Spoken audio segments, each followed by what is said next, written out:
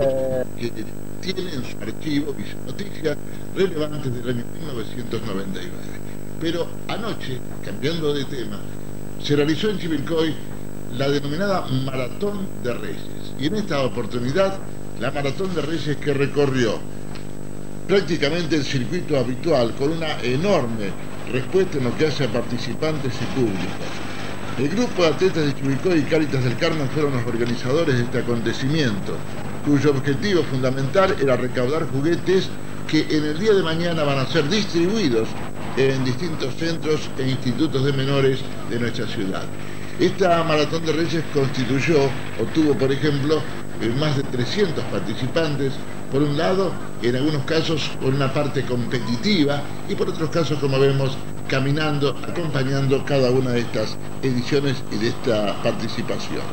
La competencia fue corrida sobre una distancia de 7.200 metros, recorrida en dos oportunidades, es decir, el circuito, habitual circuito de esta maratón fue Avenida 22 de Octubre y Avenida Villarino, calle 25 de Mayo, San Martín, después Avenida Sarmiento y Avellaneda.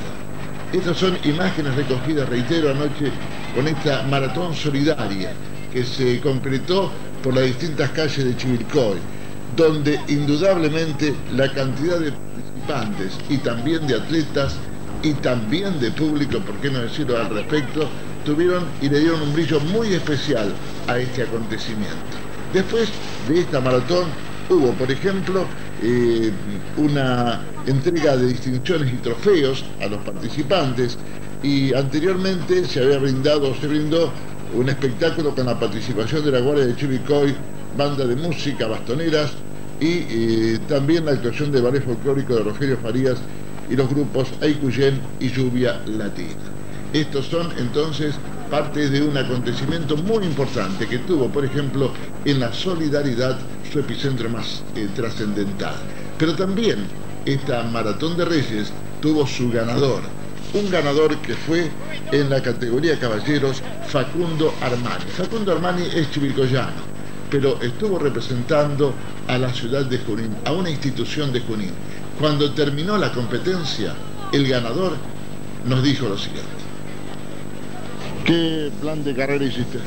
Me prendí en la primera, en primera vuelta y traté de mantener el ritmo con otros chicos y salimos en los últimos metros a definir la carrera.